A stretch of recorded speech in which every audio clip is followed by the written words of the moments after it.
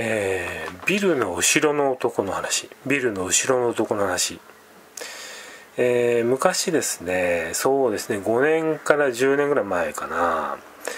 あのある駅ビルに買い物行ったんですね、うん、で買い物済ましてですね、えー、ちょうどねその駅ビルは3つぐらい駅ビルが3つ4つ駅ビルが並んでるようなでかいビルの乱立してる連立してるというかね。ビルが並んでいるようなそういう、え地域だったわけ。駅にも近くて、まあ、駅ビルあるいは駅ビルの近くにボンボンってあってそれがねあの渡り廊下でつながれてるようなそういうビルってありますよね。あの店舗がガーってあって上の方が駐車場でで店舗同士行き来できるように渡り廊下みたいなのでつながれてると。うん。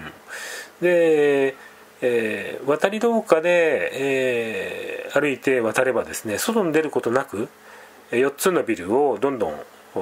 まあ行けると雨の日でも濡れなくて行けるみたいなそういう駅からね直通で行けるみたいなそういう感じなんですね。うん、で私はねあのその駅ビルの端っこの方の店舗で買い物してですねさあ駅に帰ろうと思って、えー、ちょっと待てよとこれ渡り廊下で全部つながってるんでビル内ずっと行けば駅まで行けるなとそう思ったわけ。うんえー、でかい町なんでね。で一回外出ちゃってで道歩いて駅まで行くのもいいんだけども駅ビルの中を駅ビルとか4つのねあのビルの中をずっと歩いてま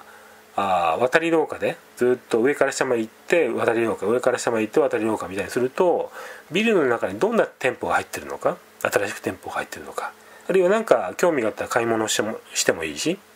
ということでビルの中のどんな店舗があるのかを確かめつつですねビルの方に駅の方に歩いて向かいました、うん、でまずね最初のビル買い物したビルでですね、えとりあえず下に降りなきゃいけないなと思ってエスカレーターに乗りました。エスカレーターだとねだいたいそのフロアの雰囲気がわかるからいいんですね。エレベーターだと全部通過しちゃうのであの止まらないフロアもあるんでね。えー、雰囲気がわからないと。でもエスカレーターだとワンフロアワンフロアちょっと見えてるしまあ、高いところから見渡すこともできるしあと表示板なんか出てさこの階はこういう店が入ってますよっていうフロアマップみたいなのがあってそこをちらっと見るとあこんな店こんな店あるなと。で興味があれば降りていけばいいんだし。ということでよくエスカレーターに乗ってえー、上り下りしてましたね。でその日もですねエスカレーターに乗ってまず、えー、2階とかね、えー、その辺りで渡り廊下があるんで2階ぐらいまで降りました。で後ろにねエスカレーターの後ろに男が立ってて私の後ろに男が立っててね。で結構ピタッと立ってるわけ。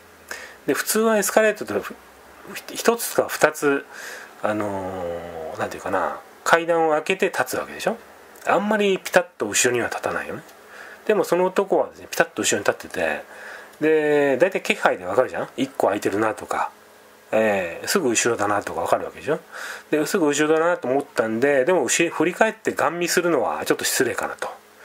別にねあの一つ階段開けてエスカレーターに乗らなきゃいけないっていうわけじゃないからそういうルールじゃないからただのね習慣だからねそういうのはね慣習というか。だから私が文句言うのも筋違いだし別に後ろ立ってもらっても別に構わないしまあでもガン見するわけいかないんでチラッとこう見てですねエスカレーターの反射ですね。エスカレーターってあの、えー、手すりの下にガラスがあってガラスにこうアクリルというかガラスというかねアクリルみたいなのがあってそこに後ろの人が映るわけでしょ？軽く。でそれでパッて見たらですねあの男なんですよね。午前。大体気配で男か女かぐらいわかるからね。で男で若い男性ぐらいな感じかな。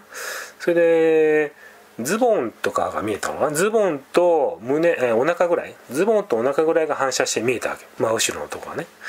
でズボンはねえー、まああの特徴的なズボン。まあスーツ系のズボンだけどね。うん特徴的なズボン。つまりあのこの布の質がね通常のあれじゃなくてちょっと変わった布の質なんでね。それからシャツ着ててそれからえー、ネクタイ。ネクタイの下半分がちょっと見えるみたいな感じね。反射で。でネクタイの下半分見えてネクタイの柄もねこれも特徴的。しましまでしたね。しましまの柄が非常に特徴的な。だからよく覚えてるわけですね。今も思い出そうと思えば思い出せます。その柄とかね。あるいはズボンの材質？うん、えー、思い出せますね。であ男が立ってるなと思ってちょっと変わったスーツ着てるなみたいな感じで。まあスーツというかね何て言うんですかねああいうのね。カジュアルスーツというか。うん。えー、まあ、そういうおしゃれスーツみたいな感じですね。おしゃれカジュアルスーツ？みたいな着ててですね。ああまああ男がいるなと思って。で近いなと思って。でずっとね、えー、エスカレーター降りてですね。で2階の渡り廊下行ってそれで、えー、まあまた2階からね上に上がって2つ目のビル。でエスカレーター登ってる時にまた男が後ろにいるなと思ったわけ。しかもピタッとついてるような感じね。でも別にねあの気にしないね。で次の2階も降りてですねそれで3つ目の駅ビル行って3つ目の駅ビルも2階からね一番上までエスカレーターで上がってどんな感じかなみたいな。で興味のあるえ興味のある店があって入ろうかなと思ったんだけどまああんまり興味が湧かないんでまあ一応ねこんな店があるねっていうことだけ見てまた今度来ようみたいな感じで降りていって4つ目のあそ3つ目のビルでもねなんか後ろに人がいるなみたいな感じはしたわけ。うん。え、エスカレーター上り下りしてる時にあのピタッと後ろに誰かいるなみたいな感じで、うん、そういう気配はしたわけね、えー、で4つ目のビル行った時にですね4つ目のビルであの登る時にね2階のフロアから登る時にあのまたピタッと後ろに誰か人がついてるなと。そんな混んでませんよ。フロアも全然混んでないしエスカレーターもそんな混んでない。でも後ろにピタッといるなと思ってでチラッとねまたガン見するのは失礼だからチラッと、えー、そのアクリル板に映るねあの後ろの人間の下半身を見るとですね1個目のビルで見た男と一緒なのね。つまり特徴的な材質のズボン。それからネクタイもしましまの特徴的なあ材質も特徴的だし柄も特徴的っていうね。あんま見ないようなそういうしましまであこれ最初のビルの男だと思ったわけ。であのー、まあ偶然かなとも思いましたけどもえー、2つ目のビルも3つ目のビルもエスカレーターを上り下りしてる時に後ろに誰かピタッとついてるなみたいな感じはあったわけ。うん。でそう考えると最初の1個目のビルで後ろにピタッとついた男がずっと2個目のビルも3個目のビルも私の後ろにピタッとついていたと。そういう可能性があるぞと。で怖くなっちゃって。うん。でもうね見れませんよ後ろは。ガラスに映るその特徴的なネクタイとかねそれも見れなくなっちゃって。で4つ目のね、えー、フロア4つ目のビルの一番上まで行ってですぐにですね、えー、下に向かうまあ、エスカレーター乗ってで2階まで降りてでそのね時はその時は後ろに誰もいなかったです。はい。4つ目のビルで下まで降りる時の下りのエスカレエスカレーターは誰も乗ってませんでした。はい。誰もっていうか後ろにね誰もついてませんでしたうんですからね。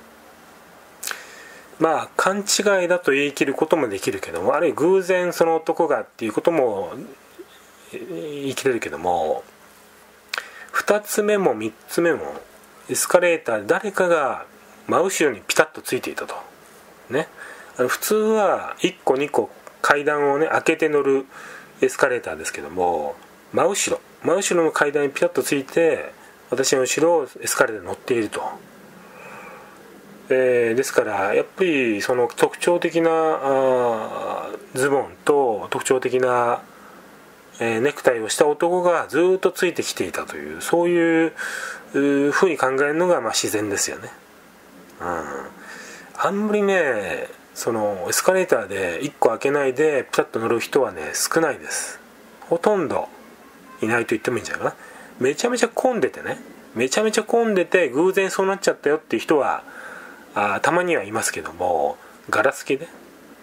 うん、エスカレーター全然人がいなくってそんなにね密着して乗る人はいるのかなと。私は経験ないですね。うん。ですからそんな経験のないレアなことが1234のビルで起きるってことは考えにくいですからやはりそのしましまのネクタイの男がずっとついてきていたと。そう考えるのがね、えー、まあ自然なのかなと思ってます。